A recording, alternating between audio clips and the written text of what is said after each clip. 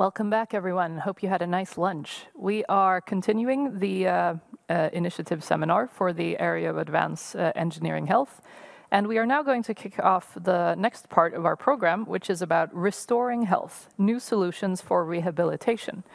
And uh, we're going to see some really interesting uh, contributions in this part. Our first two presentations will be about um, virtual reality software as a way to uh, generate new treatment strategies in psychiatry.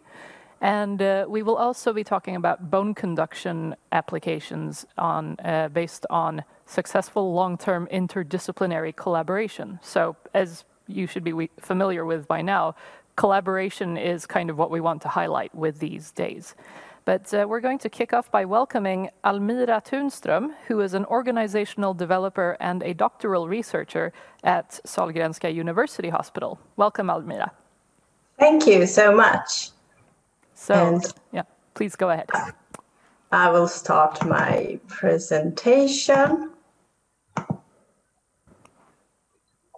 Um, I will be talking about joining worlds and how collaborating with virtual reality software has generated new treatment strategies, a sort of how I met your mother version of how to collaborate in healthcare.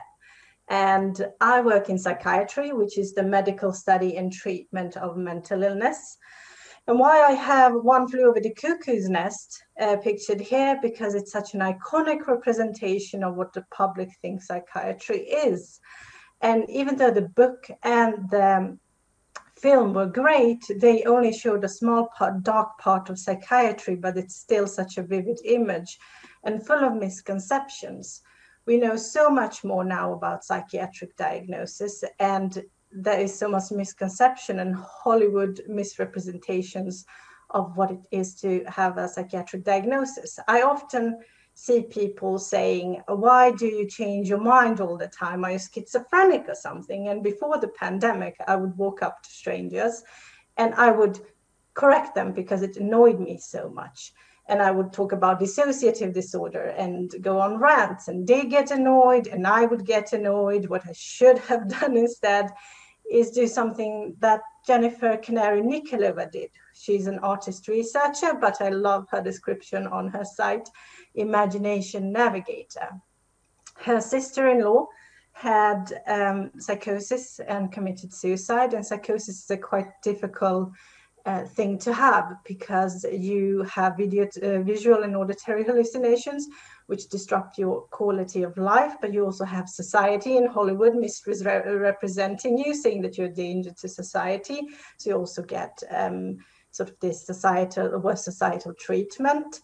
And Jennifer wanted to create um, experience founded in art and visualization, where she took mixed reality headsets so you could embody what it feels like to be someone who has psychosis previous uh, researchers and previous uh, in psychiatry and um, in clinical trials, they had done VR versions of this, but it was kind of Hollywoodized as well. This you got to embody.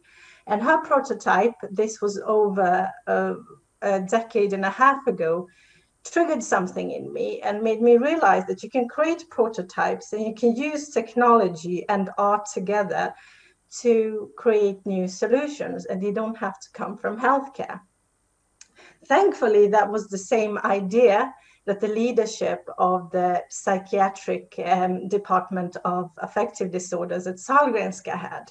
Because of a period of a time uh, between 2015 and 16, I was unemployed, working freelance for government projects, but also as a journalist working with uh, VR um, uh, reviews and writing pop science articles about VR research because I had for decades been interested in this field.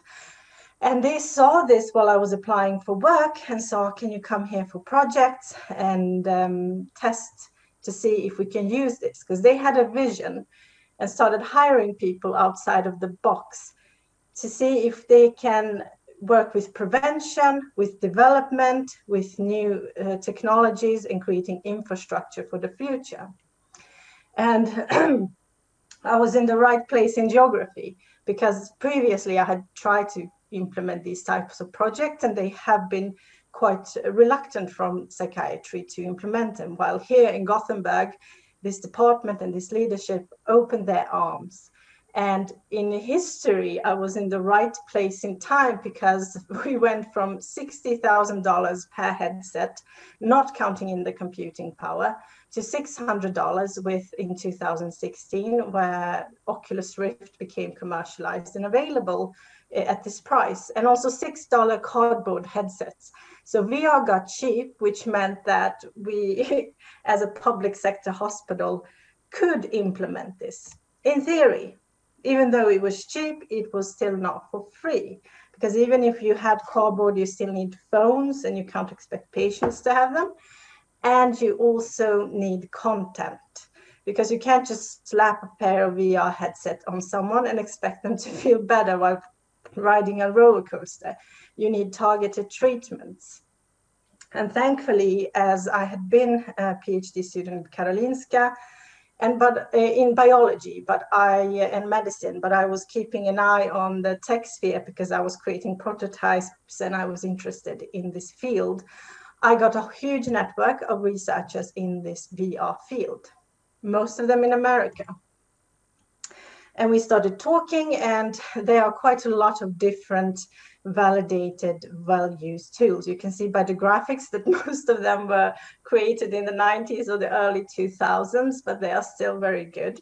And they're for addiction, for eating disorder, for social phobia, for PTSD.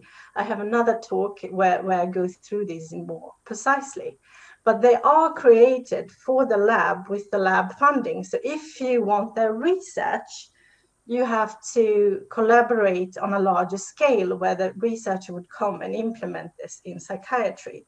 However, with our immigration laws and with our salary, salary levels and with a ton of other bureaucracy, their time plan for coming and implementing and our time plan for making it possible was not compatible in 2017.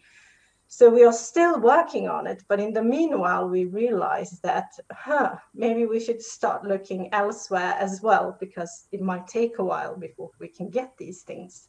So we thought about my background, which attracted um, the Department of Psychiatry for hiring me, as having this network and working as a journalist, I had interviewed quite a lot of startups having fantastic mental health apps that we could perhaps implement straight away.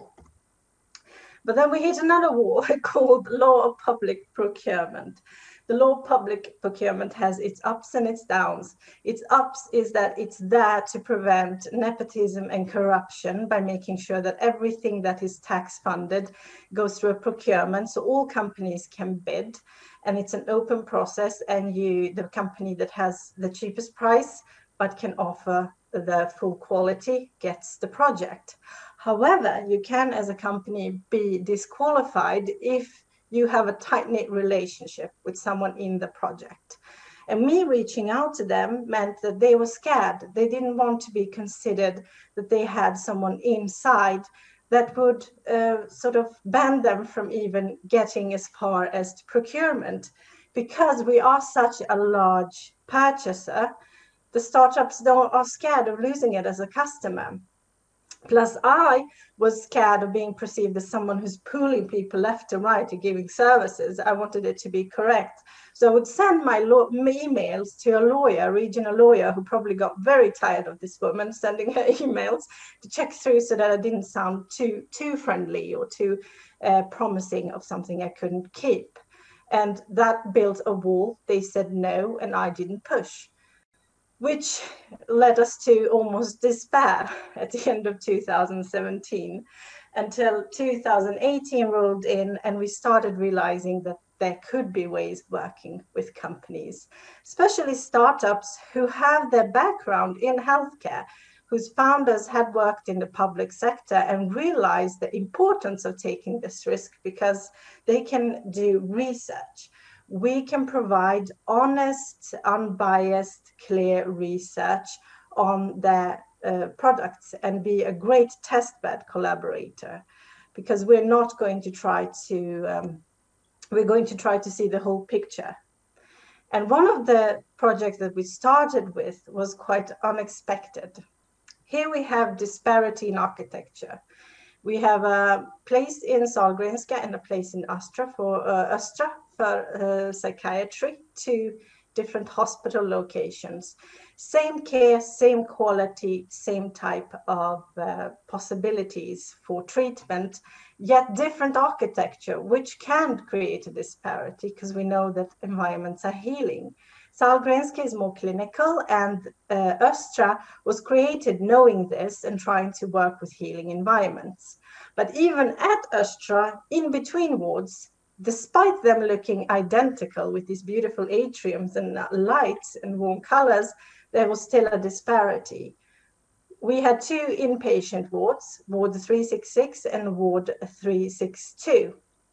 Ward 366 had these sensory rooms, calm rooms with soft mats, nature themed walls, uh, soundproof um, uh, fabrics, and projecting lights and aromatherapy. While in 362, they couldn't uh, have one of those because they would have to get rid of a patient room uh, because of the where they were located, and that is not possible. We do not want to get rid of a patient room. So we were at Vitalis that year in 2018, and we saw a lecture from a company called Mimerse.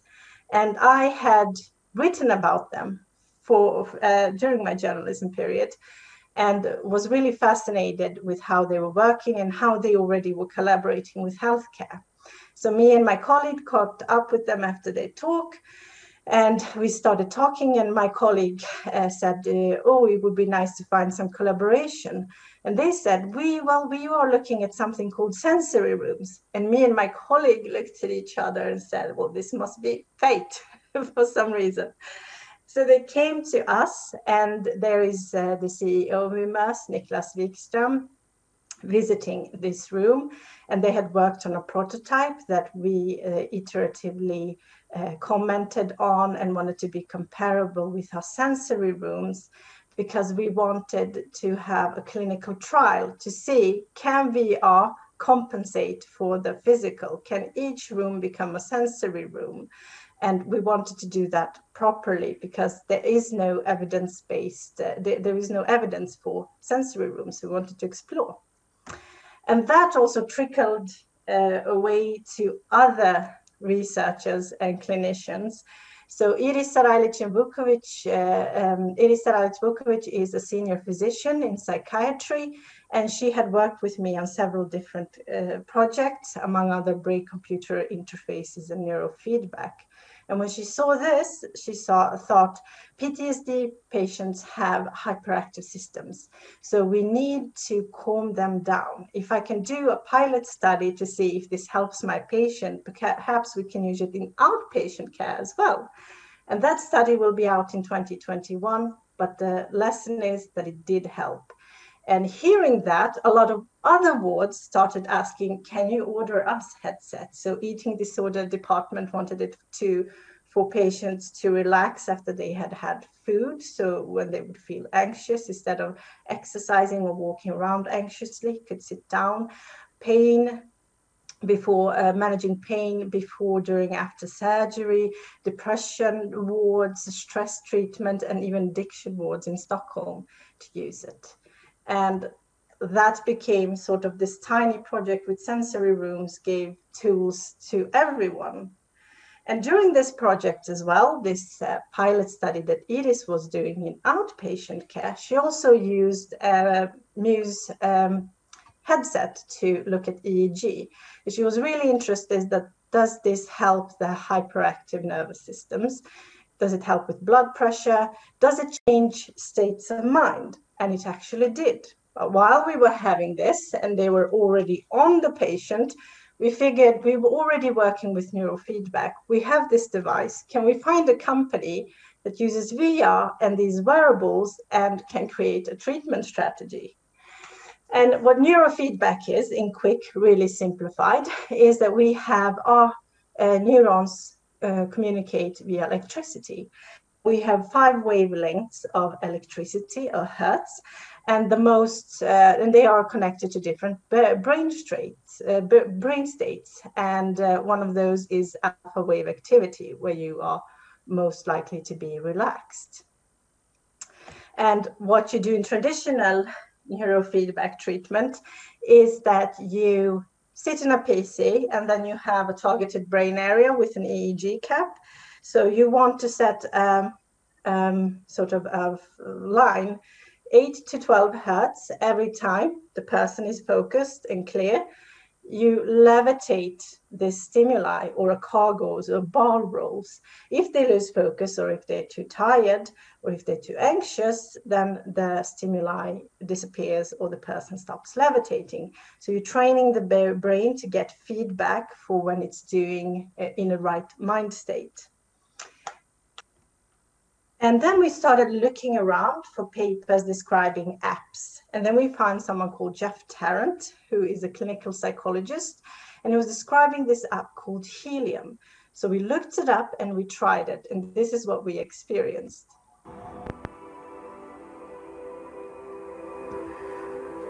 Oh!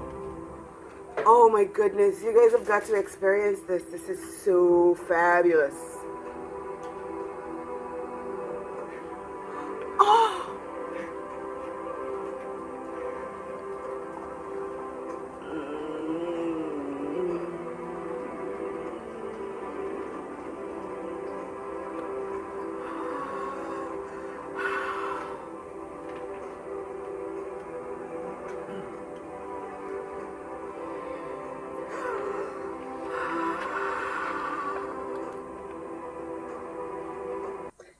That is exactly how we felt when we put it on because you thrust it into this beautiful world that you control with your brainwave activity that give you a sense of a pedagogical sense of where you are in your brainwave activity and what type of breathing exercises and what type of mind states can help you.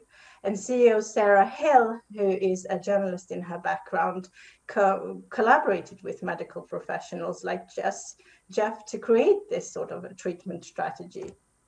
So our lawyers contacted their lawyers because they had a research uh, contract that you could um, enter because they had worked with quite a lot of healthcare before, where we retain our data and our rights and we don't share any patient information, which you don't in the app. And we are not allowed to resell or change their software. It worked really well and we started a collaboration with led which has now led us to do a multi-center study for post-traumatic stress disorder. However at the time we signed this in 2018 we did not know that we were also creating a solution for a problem that had yet to come which is the pandemic. You see the app also works with augmented reality where you can look at different stimuli out into the nature and uh, take this home with you. So this could be um, used at home as well. None of these treatments are treatments as such, they are additive treatments. So you get ordinary treatments as you would treatment as usual, but this could be an extra step and prevention and care for the patients. And now that we have Healium XR and Mimerse, we needed to think about our own staff as well, because mental health among our mental health workers really does matter, because we are losing quite a lot of staff in healthcare, and there is not enough people getting educated. And one of, uh, there are quite a lot of work environment issues, but one of them is um, workplace assaults, which occur 75% of them occur annually healthcare settings. That's quite a lot. And that creates quite a lot of stress and anxiety because we, unlike the military and the police, we also meet violence, but we don't get proper training for it. And one of the things I came up with from my own childhood is that knowing uh, knowledge and information in a sense of uh, agency gave me strength and lessened my stress. I'm the youngest of three, uh, and we had one gaming console, and we all loved to game, me and my sisters. So I was the always the one last one to do so. So it was quite frustrating, but also quite good because I got to see my sisters go through the go through the um, different levels of the game. I saw where they fail, failed and I saw the dangers coming ahead. So I knew sort of how to prepare myself. And I figured that must be the case in, re, in um, this form of stress lowering anxiety and preparation as well for healthcare workers. It's worked for the military and the police. Could it work for us? And it did, uh, there were quite a lot of studies, like one by Gaggioli et al., where they would use um, nurses and teachers who were highly stressed on the verge of burnout, and then let them do virtual reality uh, simulators, training de-escalation and confrontation um, training. And we, we thought this must be, there must be something for healthcare workers as well. And lo and behold, I found Maria Bauer through a friend who had tested a simulator she had done based on her de-escalation theories and threat and violence in the workplace education. So she's a quite known educator in this. And it, she turned this education theory into VR scenarios. And you remember mistakes you made better than ones you read about. So you kind of embody the education in VR. And Maria and Axel were kind enough to come to us at the, the psychiatric emergency ward and had a meeting with us. And they knew we couldn't afford a simulator, but we uh, went into a research agreement with Framvik AB, who is this company for this simulator. And then we started designing an education. And this is a picture, I'm sorry for the resolution, it was because it's a screenshot of ER, virtual reality place where we can train our staff in de-escalation theories, which gives them agency and safety and lowers anxiety, according to research. That's what should happen. And also for the patient, if you are anxious and you act out, it's good knowing to knowing that the staff is one of the people who know how to steer the wheel, how to de-escalate the situation, keep you and themselves safe. So this is one of the projects I'm looking forward to doing quite a lot of research in.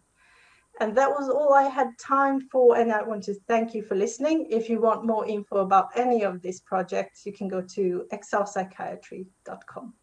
Thank you. Thank you very much, Almira. That was really fascinating stuff. And it sounds like a super immersive and interesting topic to be doing your doctorate in. So congrats on that.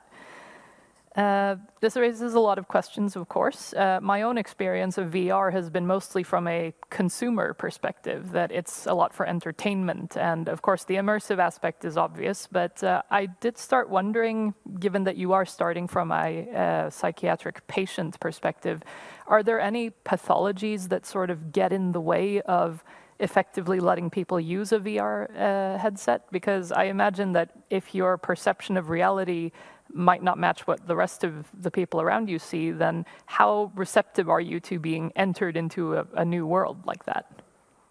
That's quite one of those most interesting questions we had, and we did quite a lot of research. And in one of the pages I have in XR Psychiatry, I list what they have done in patients with uh, low functioning autism and uh, severe psychosis and it works well for them as well. Uh, I think there's a misconception there as well that people wouldn't be able to handle it and that they wouldn't, that there aren't good enough um, user experiences that are adapted.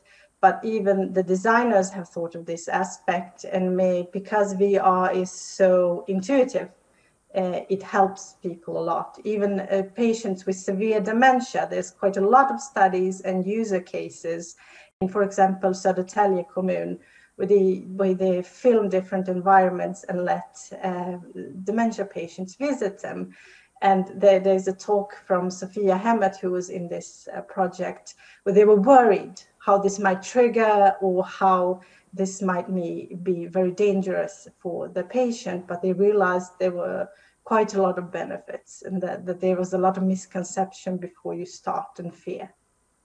Hmm.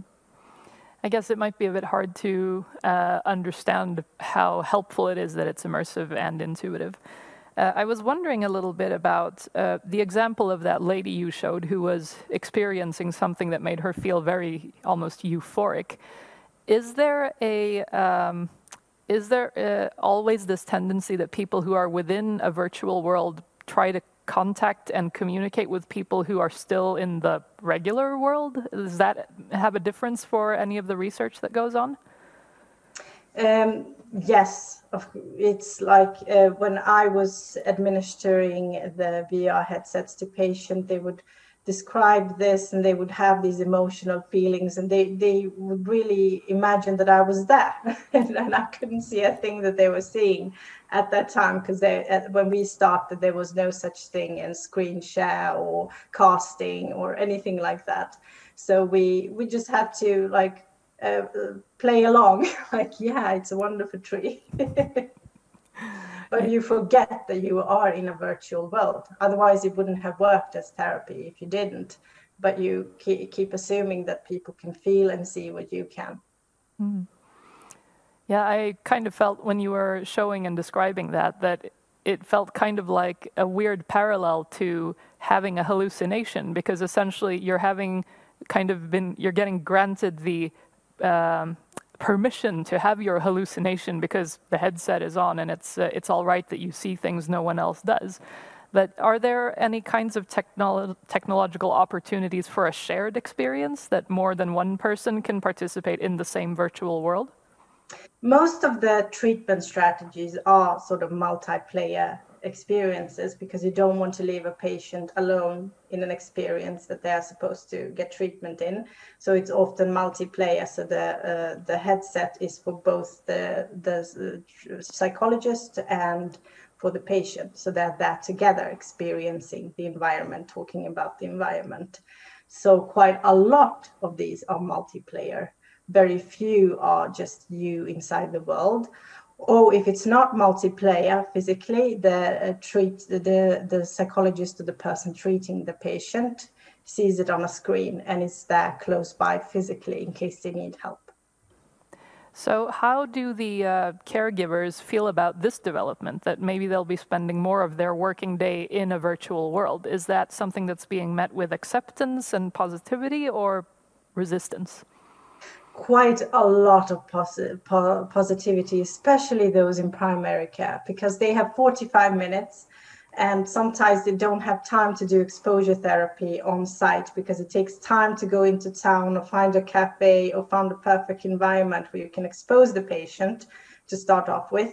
So having these tools just makes it uh, easier for them to do exposure therapies, for example. So they are very, very open-minded, welcome, because they they're not losing anything. They're just gaining a tool in their toolbox that can help them with a variety of problems. It's not their only tool, but it's an extra tool. Hmm. So how widespread is this today? I mean, I kind of imagine this solution must somehow find its way to the patient, but how, what are the pathways that allow this to become accessible to more patients? The pathways is finding uh, passionate and interested caregivers who are willing to implement it.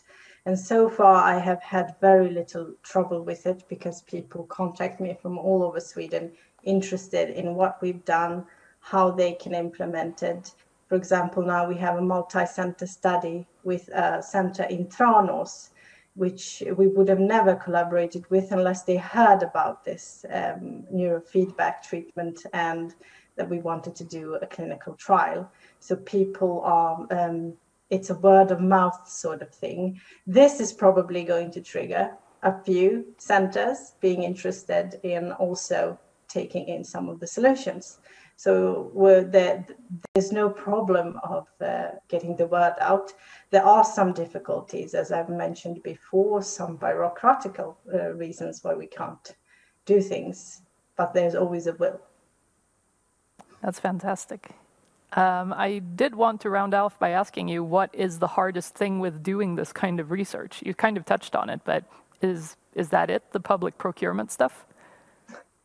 Um, no, uh, it is uh, also uh, right now. It's the pandemic, of course, because it's such uh, it's thing that touches your face, so you can't share it with anyone, and you have to have long periods between, like sort of looking at how you can sanitize That's one of the things. Plus, um, uh, a procurement in another sense is that the hardware is hard to sort of uh, scale up. We are working on, on that currently as a hospital to make sure that nobody has to go and purchase their own equipment, but that we have that widely available that you can snap your fingers and have that on site.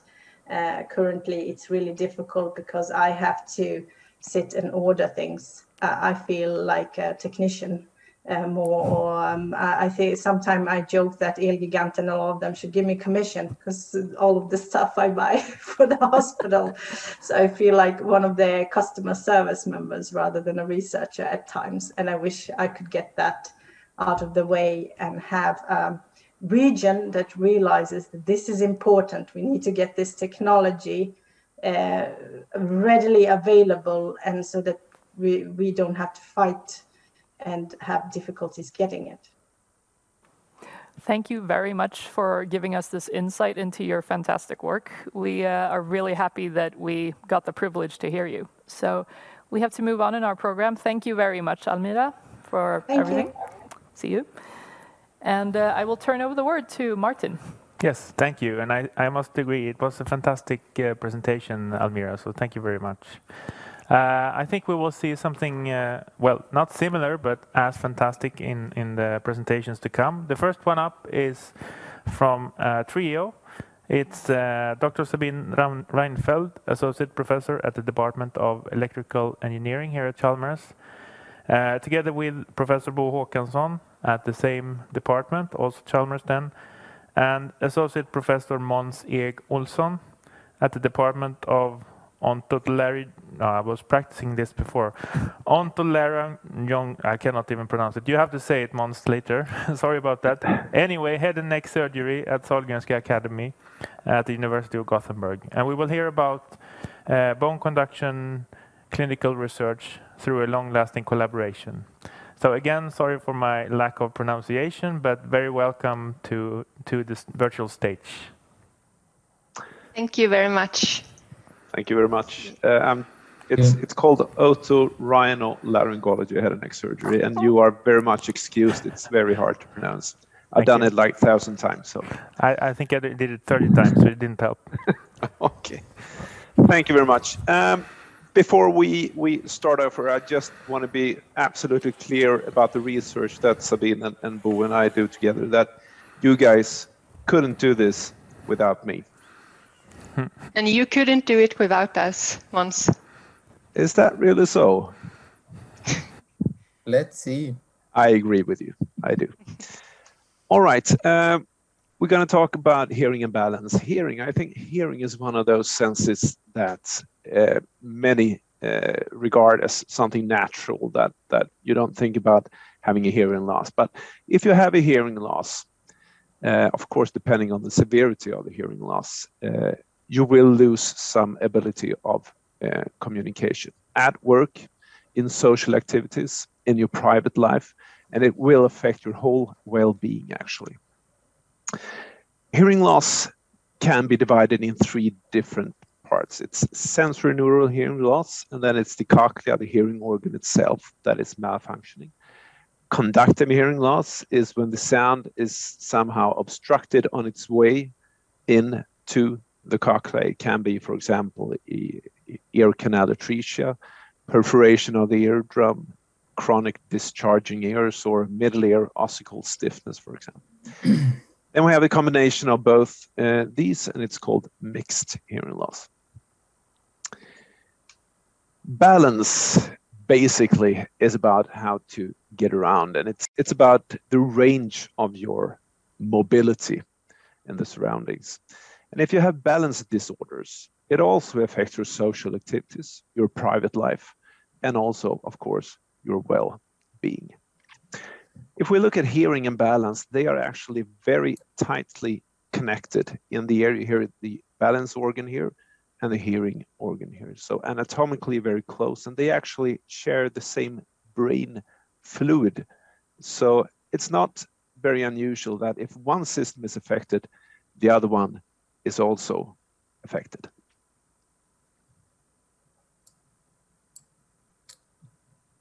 So yes, uh, today we're going to talk about uh, collaboration and um, there have been a very long history of interdisciplinary collaboration between Chalmers and the Sahlgrenska Academy.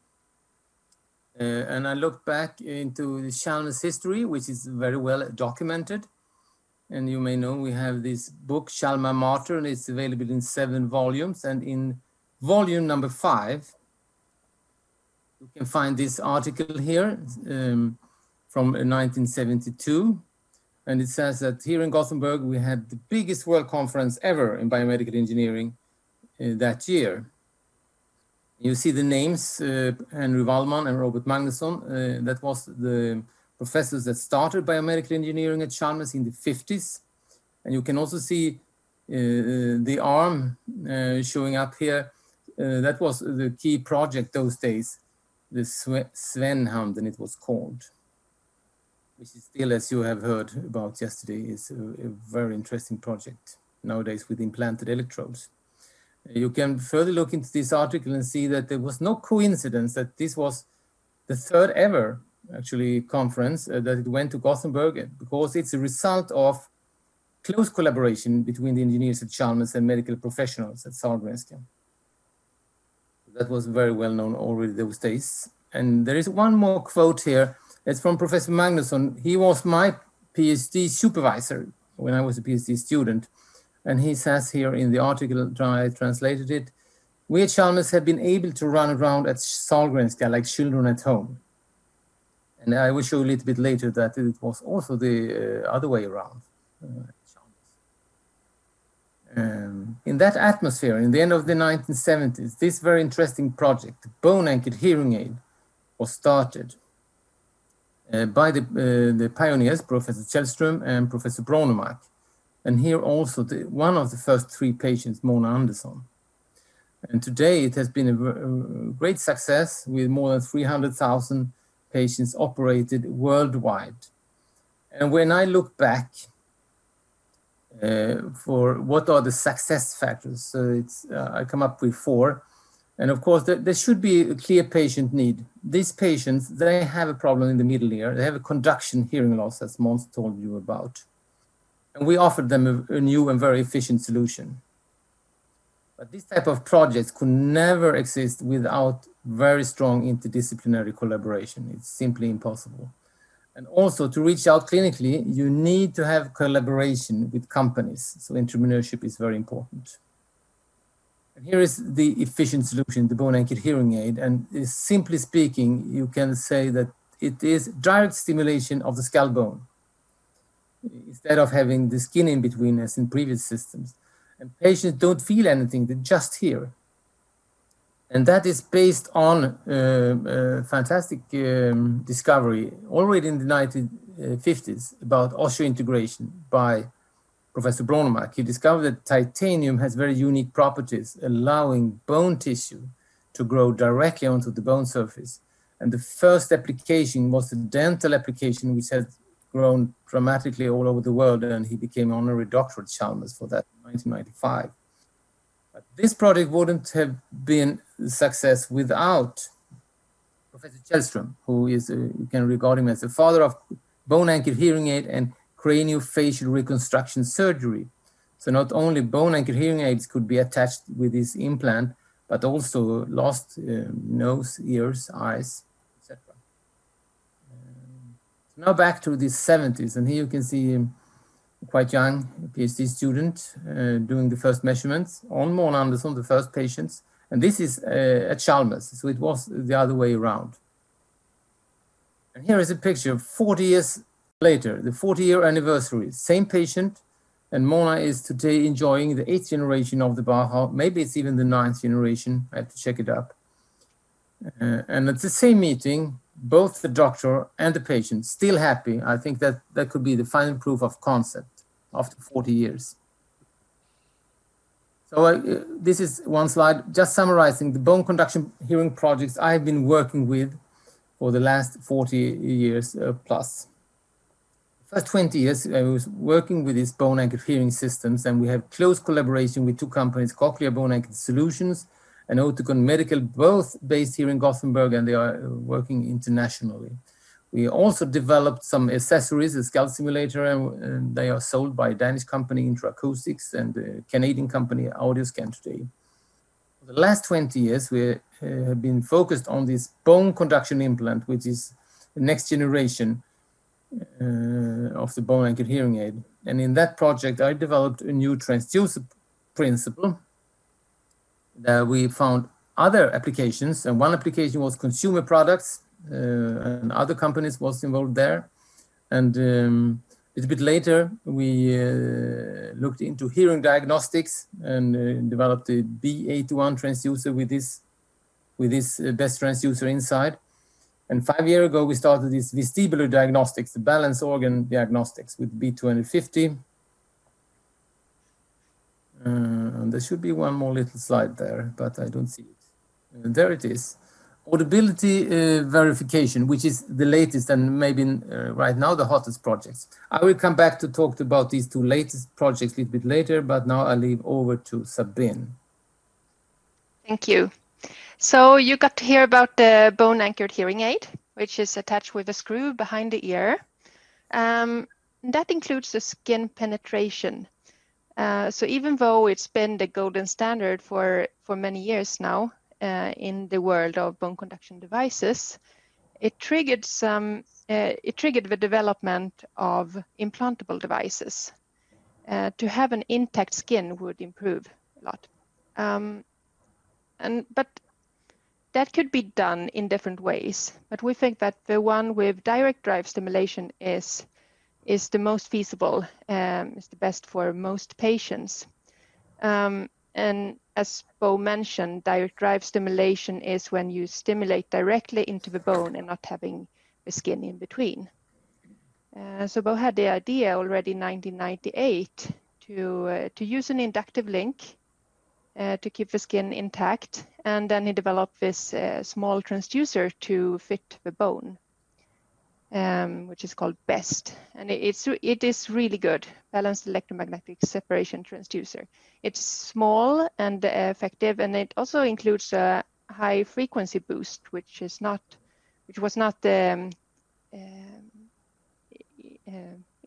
it was not in the in the previous Baha transducers.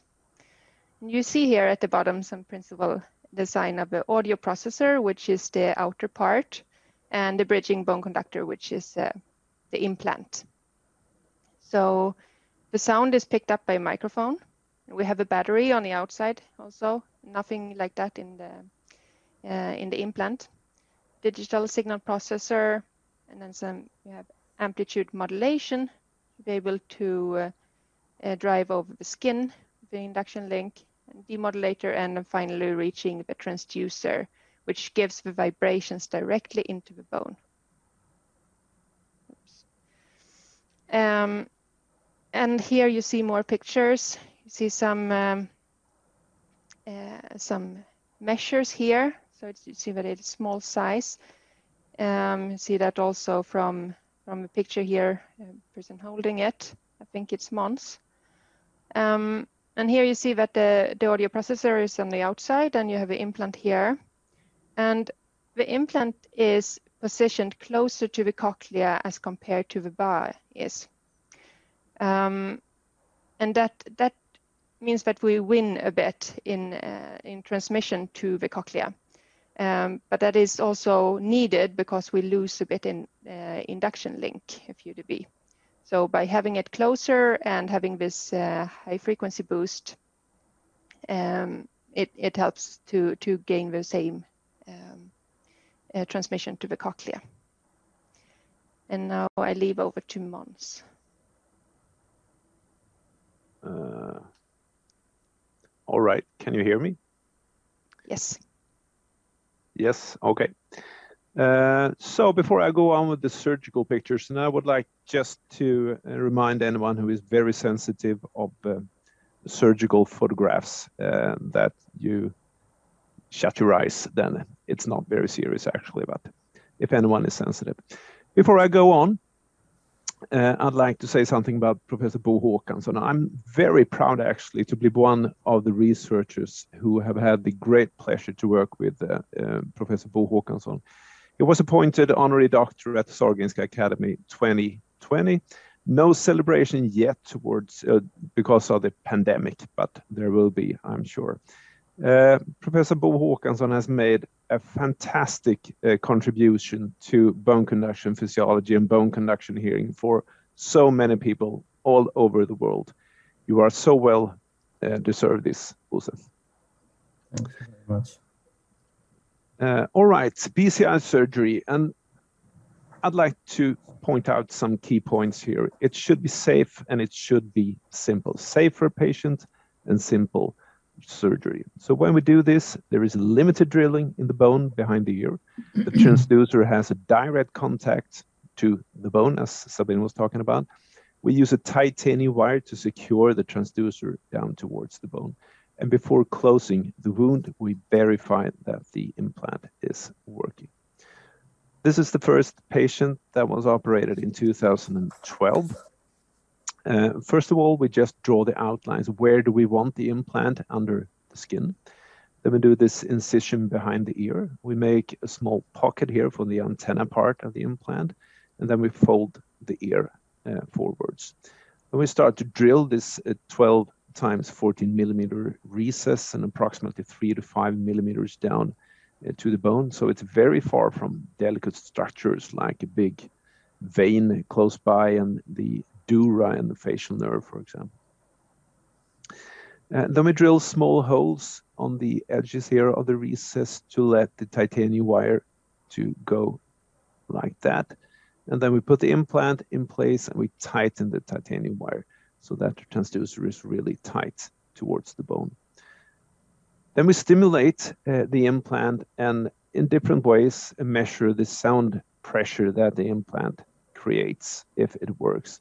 And in this patient group, we have made something called the nasal sound pressure, actually measuring the sound pressure in the nose for practical uh, reasons in the OR. And then we close the wound like that. So in summary, uh, easy surgery, limited drilling, small size of recess, and we don't go far down in the bone, far from delicate structures, and that is safe surgery.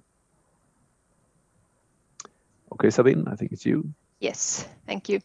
Uh, so these patients that we have, we have 16 so far uh, in the clinical study. Uh, we follow them up uh, in a rather tight schedule. At first, before the surgery, they, they get to test uh, BAHA on a soft band uh, for four weeks, which is used as a reference device for us. And uh, we test it after four weeks with um, different audiometric tests, so hearing tests with tones and uh, speech, and uh, also questionnaires to check the uh, quality of life. And then they have a surgery, and we fit the uh, external audio processor after four weeks. And we do all of these testings again uh, with this BCI then. And we follow up after one, three, six, and 12 months after fitting, and also after three and five years. And you see a lot of bars down to the right. Uh, that's all the different patients. 13 first are from Gothenburg and three in Stockholm. And you see how many years now that they had the implant. And if we add all of these together, we are now up to 99 years today. Uh, so almost 100 years accumulated time. And during all this time, we had no serious adverse event reported. Um, I also want to tell you about a long-term study that we have with one implant. Uh, so that implant gets to listen to uh, radio P1 24 hours per day uh, in a quite high volume to accelerate uh, the use of it. And if we calculate with a 12 hour uh, per day usage, then this implant has now lived for 42 years. A little bit of results. We have um, uh, published uh, quite a few papers on this and now first month for the first patient, six months for first six patients, and one year for 16 patients, and three years for 10 patients. uh, so what is in common for all of them is that um, we see that we have a significant improvement compared to unaided situation. We also have similar or better improvement compared to the reference device, the Baha on a softband. But what we really wanted to measure, uh, to compare with, with is a Baha on a screw because that's better. Uh, we don't have the skin in between. Uh, so we did a match study uh, in the beginning, um, matching six Baha patients with our first uh, six BCI patients with the same hearing loss, age, and gender, and we got really similar results for both of these groups. So we see the same rehabilitation effect, uh, but then with a major advantage of having an intact skin. Oh. Okay, uh, thank you. And I will say something about our latest and maybe most uh, exciting project at the moment. It's about objective measurement of audibility. When we have a bone conduction device, um, it's very hard for us to know exactly in an objective way what the patients really hear. We can test thresholds, but we don't know exactly how they hear the speech. We cannot put a sensor in the cochlea, but we can put a, a microphone on the forehead. And that microphone listens to the sound that is transmitted through the skull. Uh, and um, the idea is to measure the thresholds with this surface microphone, skin microphone, uh, and have the thresholds here uh, and web frequencies down here.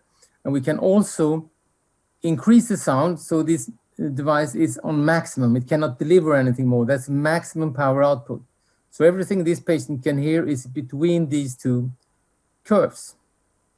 And now we can um, uh, send out, transmit speech signal at different levels through a speaker and see where it ends up in between these two, um, the thresholds and the maximum power output. And if it's not perfectly in between, so the patient hear everything, we can adjust with the programming of the device. So this is a way to do this in an objective way. And we, we are very early and we have done a pilot study on normal subjects, actually ourselves. Maybe you can identify the patient here or the subject. We use an Intenso device We're on a soft band towards the skin. And this is the average thresholds among us, five. And this is the below uh, squares are the maximum. And then we have three levels of sound, 55, 65, 75. And you can regard the red area as a speech banana. And you can see that almost all speech sounds are heard, except maybe for the highest frequencies. But we have normal hearing in most of these frequency ranges, so this was expected. But this is a fitting tool that we now want to try on devices on patients.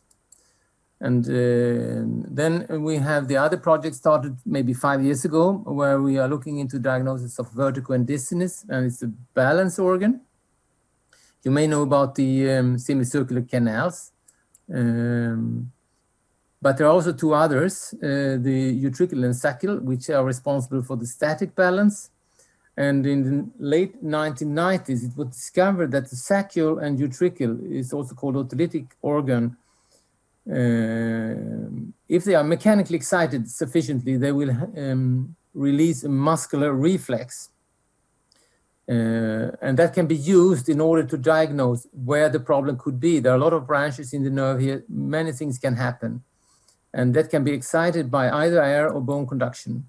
And there are two types. Either you, uh, if you excite the um, saccule, you will have a muscular response in the cervical muscle.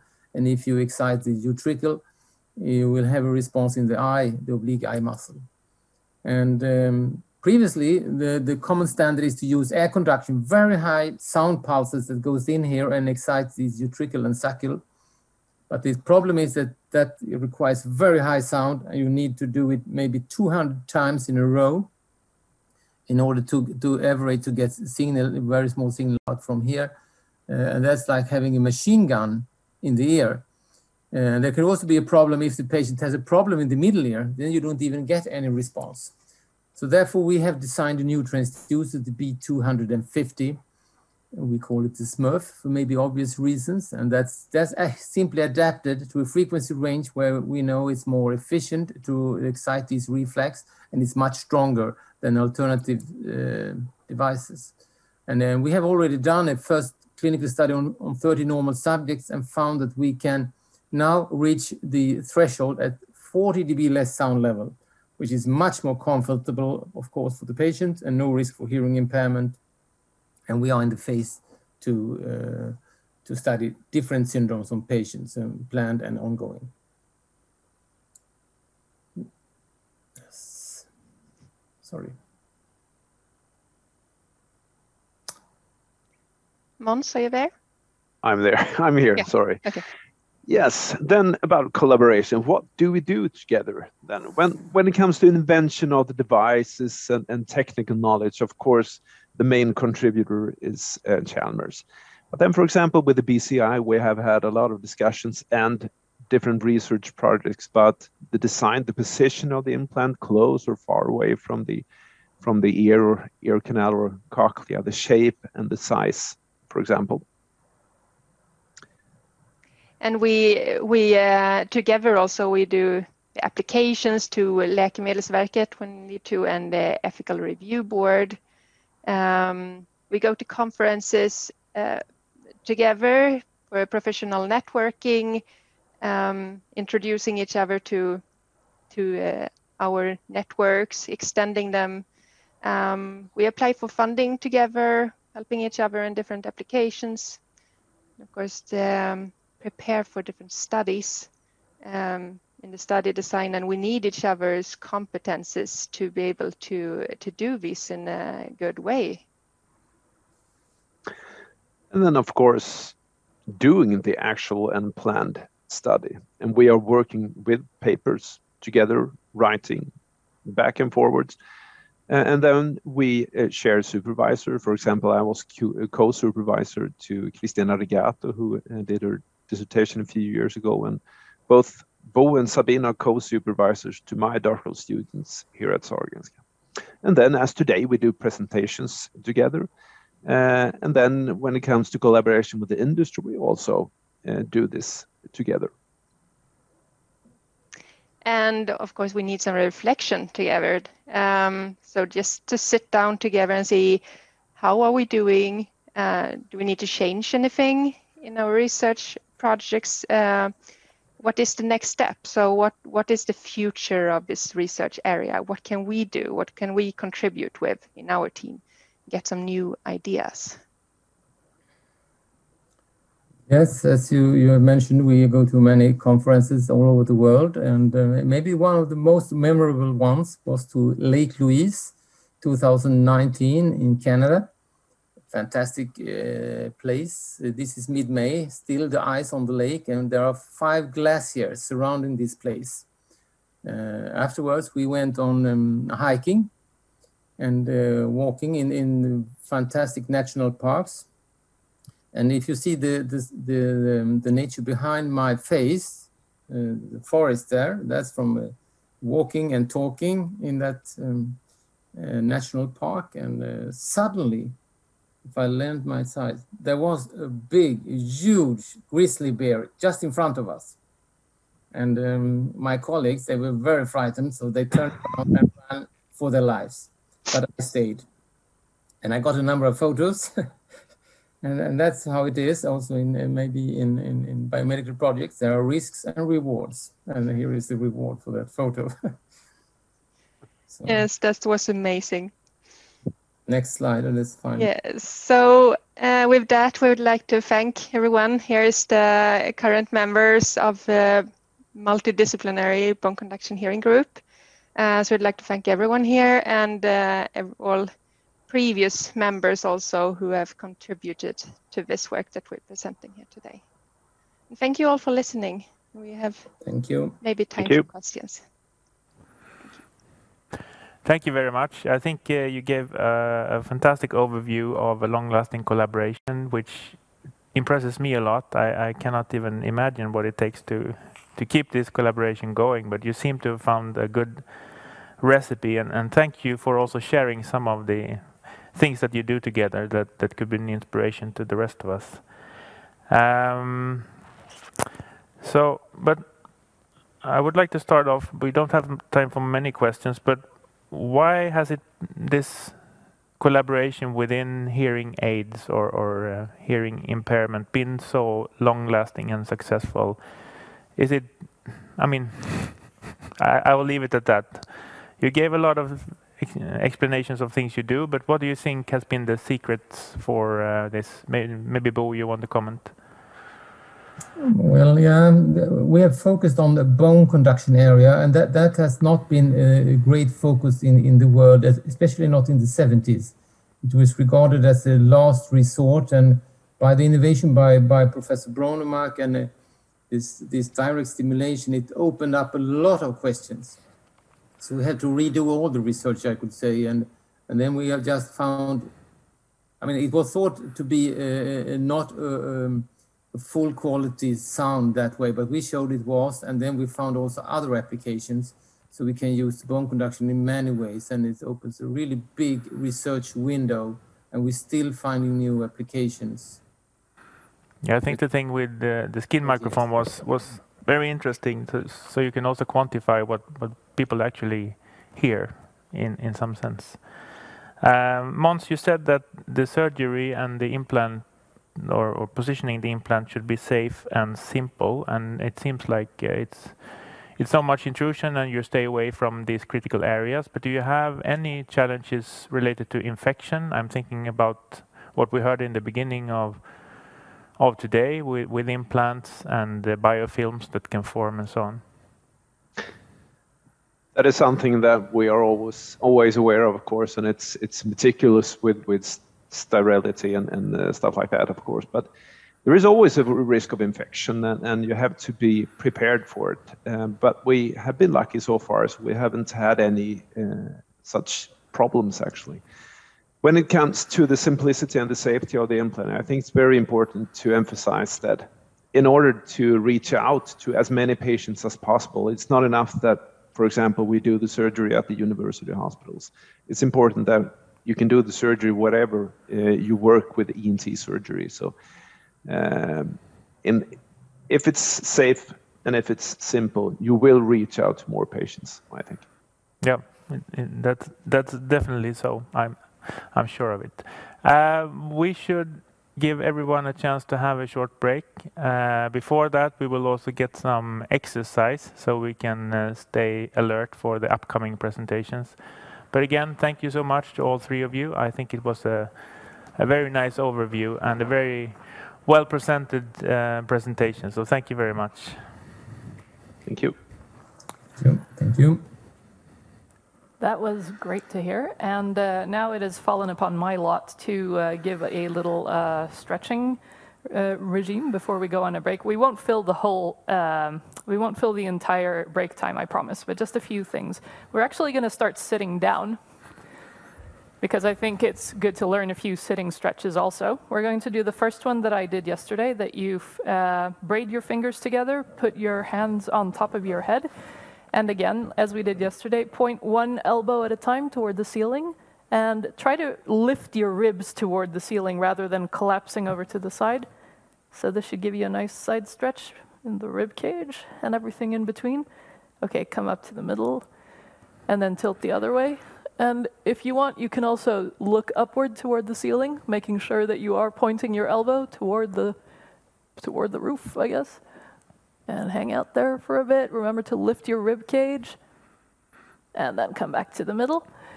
And uh, now we're going to try something that might look a little bit complicated. I want you to take your elbow and place it on the outside of your opposite knee. This should give you a little bit of torso twist. And with your other arm, try and open up so that you have your chest pointing toward that wall. And maybe look up toward the ceiling here. And uh, you can regulate how much pressure you put on your twist by pushing with your arm that is on your leg. Okay, come down softly, and we'll try the other side. Put your elbow on the outside here of your knee and open up with the other arm. I imagine this looks pretty, but I can't look forward right now, so here's hoping. And hang out here for a while. Don't forget to breathe. All right, and push and come back down. Okay, and now as we get up, we don't get up all the way. We get up so that we're a little bit bent forward. Put your hands on your knees, and then draw circles that go about to the level of where your toes are and around. Try to get behind your ankles the other way. Do it a few rotations to either side. And if it's not obvious, I am going to aim towards stretching out what has been uh, compacted while we've been sitting down. So now, if we stretch up a little bit, uh, we form a Charlie's Angels point with our fingers and our knuckles like this. Put it over your head. Try to get behind your ears if you can. And then push upward as much as you can. Let your shoulders lift toward your ears. And then push them down. So you still have this pyramid shape, but a bit of space between your ears and your arms. Now try tilting a little bit to either side. Martin and I are doing this beautiful symmetrical thing right now. Also here, try lifting your ribs that are facing the roof a little bit upward. Come softly to the middle. And the other side, of course. Should have had some uh, fancy schmancy music to this, I think. We'll remember that for next initiative seminar. You can imagine. Yes, exactly. Come up to the middle, and now I want you to grab your opposite uh, shoulders like this, forming a V with your arms, and try pushing your elbows down toward the floor while you try and lower your shoulders a little bit. This should give you a nice little neck stretch. And if you want, you can Try tilting them a little bit, see if that makes a difference for you. Okay, now we're going to try for our hip flexors. So I want one foot to be slightly in front of the other. I'll stand this way so you can see properly. I, now will, I will not. all right, excellent. This is very pedagogical. Now, the trick is to imagine that your backbone continues into a tail. Now, take the end of that tail, pull it up between your legs, and tilt your hips forward. This is supposed to give you a nice stretch here in the hip flexor. So you can just hang out here for a while. I hope it makes a difference. This is, this is a part that very much gets compressed if we sit down throughout the day. Now we can try rotating to the other side, like so. And same thing here. Take your hip and tilt it upward. You should feel it here, where the pocket is on your jeans, basically. Somewhere here, yes. Yeah. And hang out there for a while. All right, and come back. And just to finish off, I just think it's good to do the thing we did yesterday. So again, we'll form the American football goalpost with our arms. Try to squish together your trapezius muscles and bring together your shoulder blades. All right, looks good. Everyone looks like they're being held up. And tip your hands downward like this so you get the opposite effect. So this uh, works your arms and your shoulders and your deltoids and whatever else their names are. And then finally, push straight backward, straight arms like this, and let them swing. All right, you're good. So Thank you, Cecilia. Yeah. That was good. go take a break, and we'll see you back at quarter past.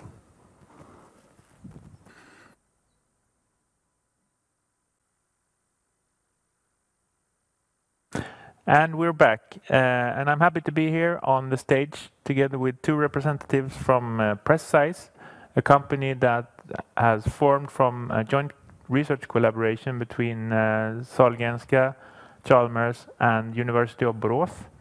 And with me here, I have uh, Josefin Damm, who is uh, one of the co-inventors behind what we'll be hear more about today, and also Chief Technology Officer for PressCise. Welcome. And Andreas Nilsson, uh, PhD and CEO of PressCise.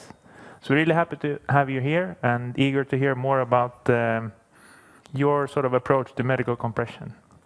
Thank you Please. so much. So we will talk about medical um, dosage in medical compression treatment. And um, as we heard here, uh, my name is Josefin. I'm the co-inventor and co-founder of PressCise, and my fellow colleague here and co-presenter Andreas is the CEO. Bandaging is one of the most ancient treatment methods in history.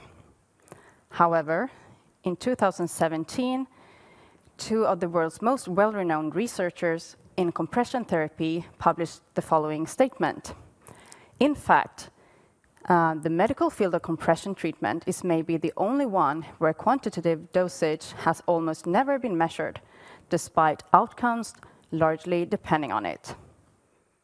So in other medical areas, it would be unaccepted to give a dose of medicine without knowing what you're giving. About 400 BC, Hippocrates stated that an upright position should be avoided for a person with a leg ulcer.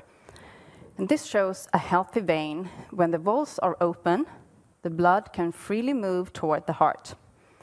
When the valves close, they act like check valves and prevents backflow. However, about 60% of the adult population is affected by venous insufficiency, which is when the valves cannot close and work as intended. This creates turbulence and backflow and causes blood to collect and pool in the legs. This leads to various stages of venous insufficiency, like pain, swelling, skin changes, varicose veins, and in the last and worst stage, an active venous ulcer. For all of these stages, though, compression treatment with bandages and stockings is crucial to improve circulation and restore the venous return.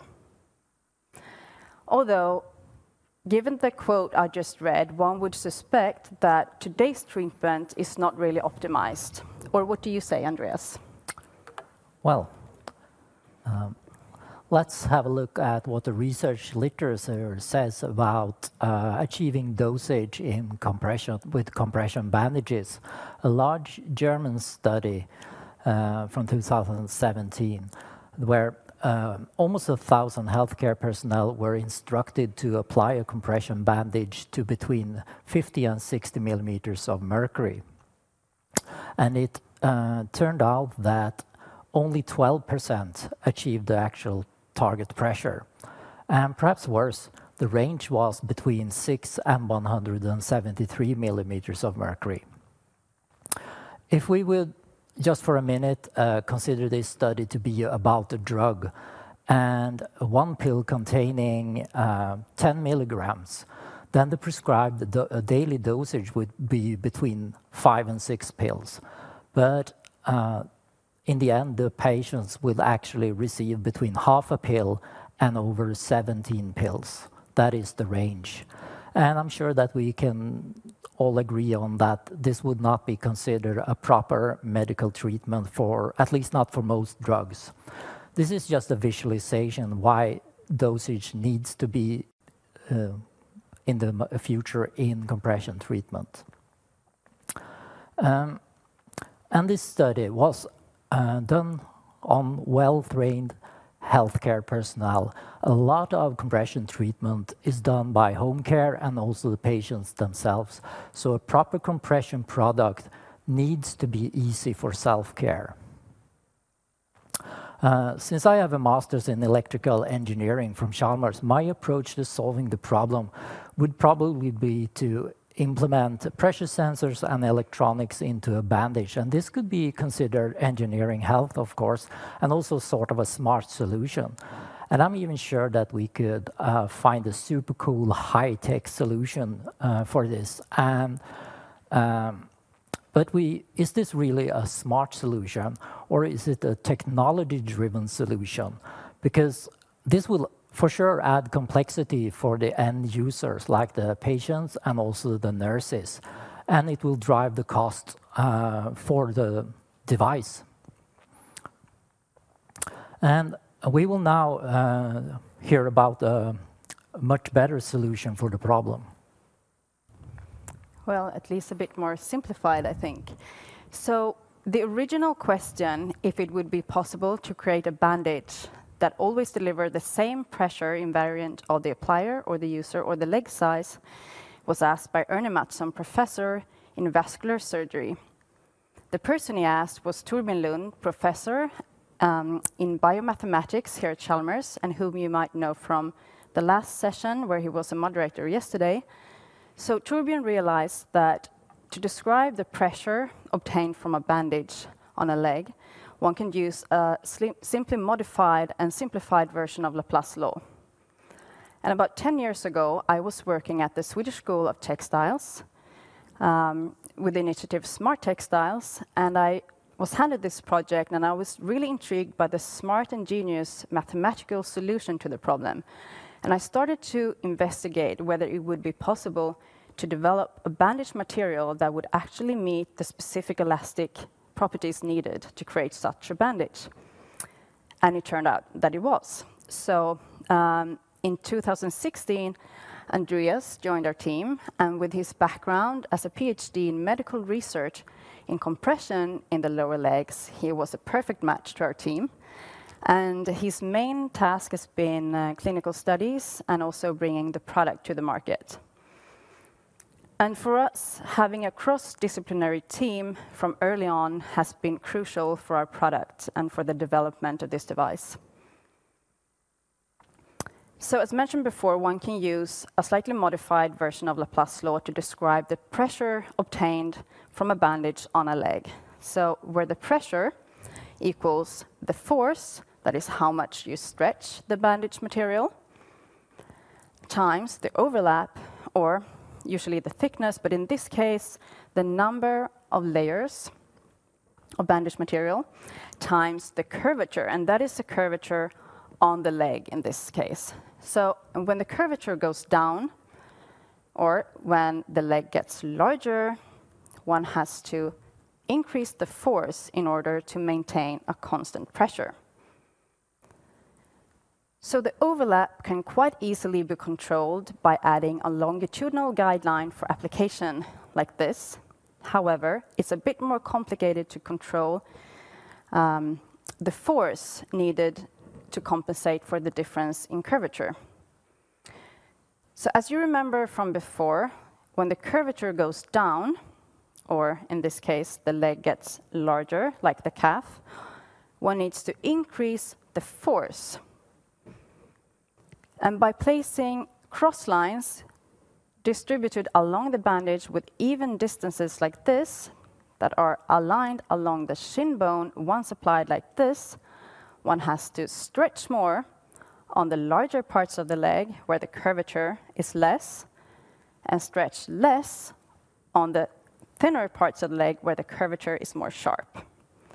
And by precisely calculating the elastic properties needed, one can design a bandage material where the elastic properties, of the force and curvature always balance each other in order to achieve a well-defined pressure invariant of leg size and shape.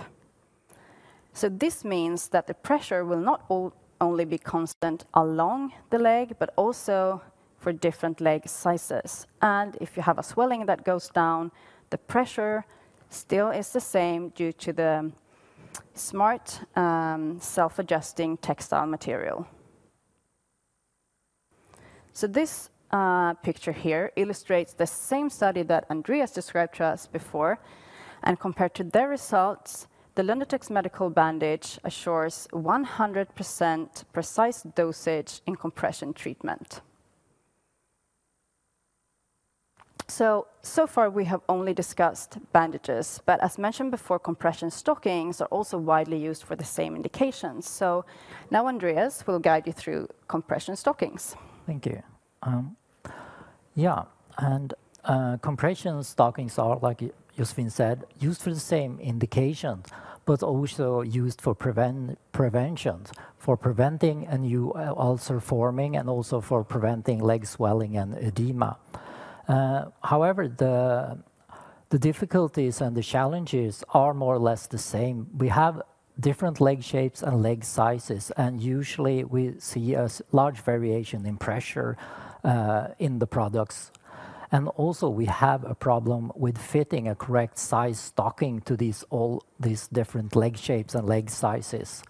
The patient often complain that it's hard to put on or impossible to put on and take off a, a stocking themselves. So they need healthcare personnel or home care to help them put on the stockings in the morning and removing them in the evening. Um, we have tried to uh, address some of these challenges by uh, designing a stocking with the same smart material as used in the bandage that will give us uh, dosage at all times and also uh, much easier to find a stocking that will actually fit the patient.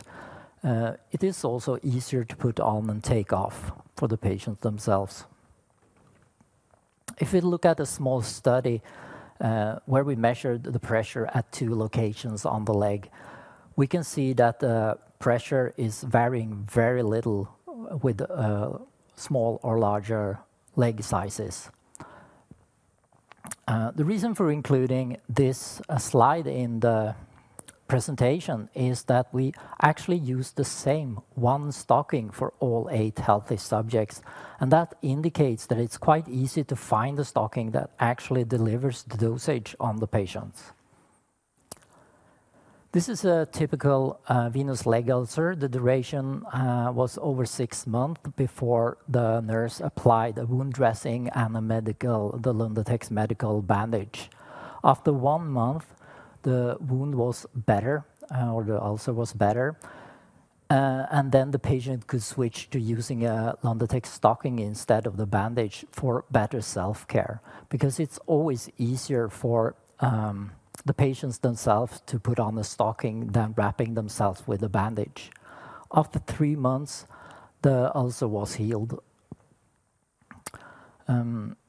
The patient, an older an older lady, had a history of previous venous leg ulcers that usually healed in six months with conventional compression, uh, compression treatment.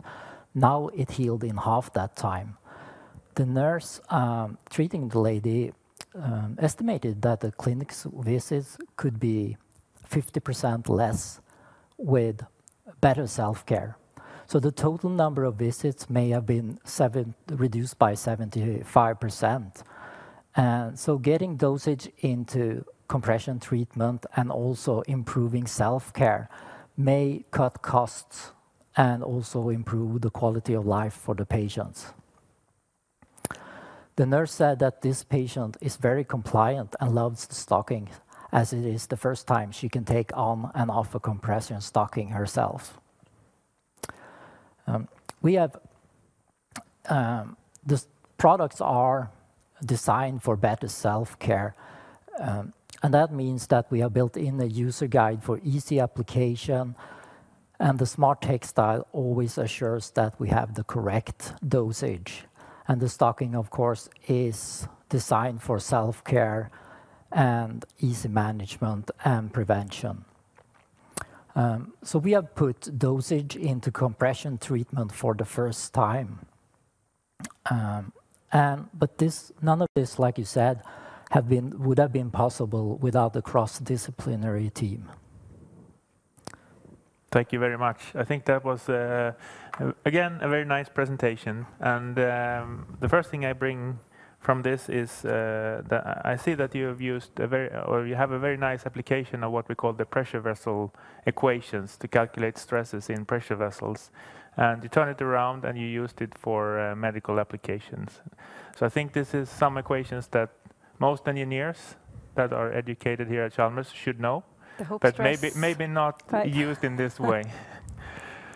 Um, so maybe that's where I will start. So it's sort of, in a way, a simple idea, at least the the relation between the tension in the band and or the bandage and uh, the pressure that you get. Uh, you have all these kind of bandages around. So what is what is your competitive edge? Is it the textile then, or how do you compete?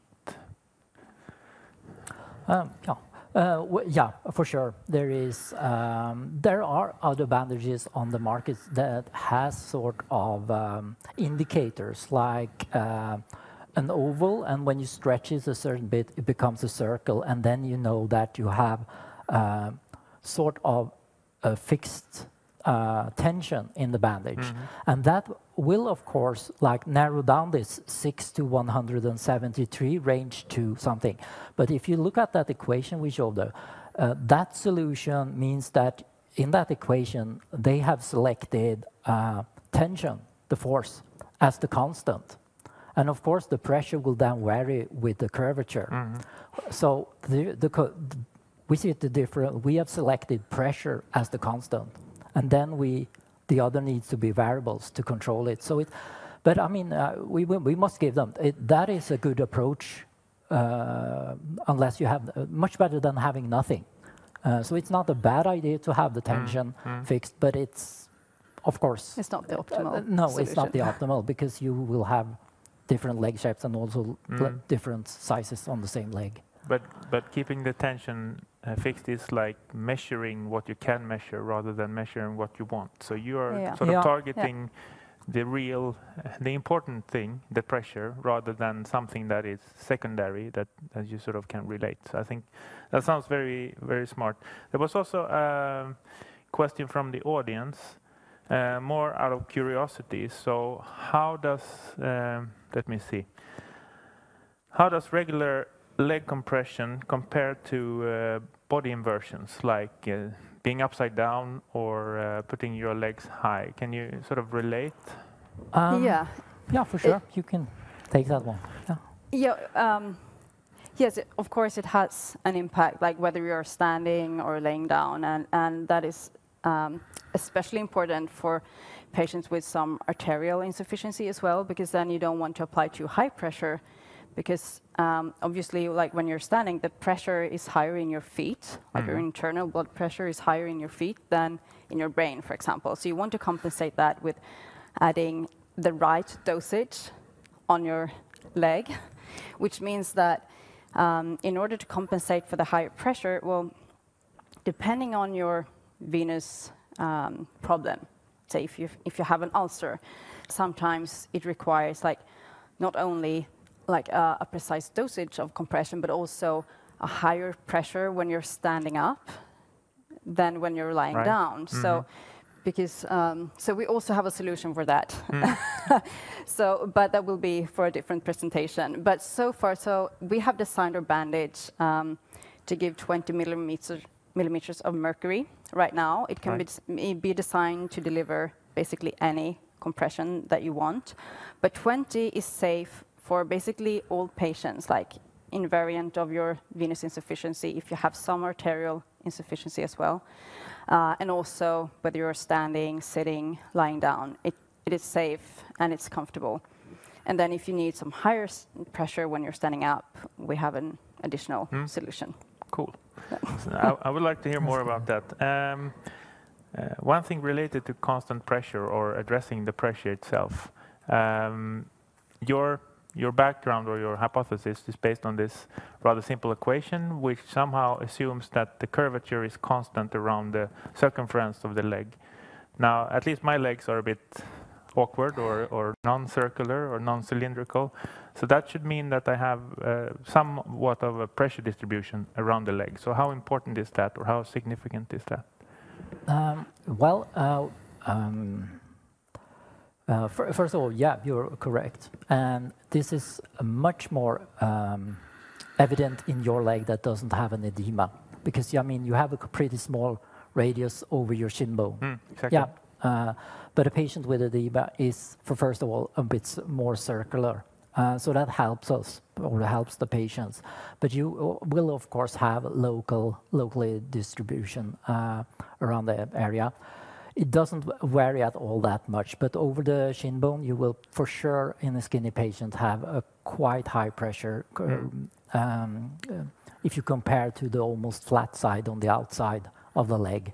Uh, it's, it's difficult actually to measure with the pressure devices that we have available because they uh, either they have a thickness, so you actually are influencing what you're measuring, or they are not able to pick it up. So we, we were not sure how, how much it differs, but it's within a, mm, a few millimeters of mercury. Okay, it's so not, it's not uh, more than that. perhaps 10. It's, it's, it's not crazy. Hmm? Um, It's Yeah. also a standard procedure to, to use like polster material, like Yeah. All right. some bulky yes. material Mhm. Okay. to create a more circular.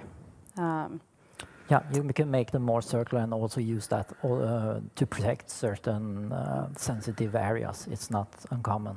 Right.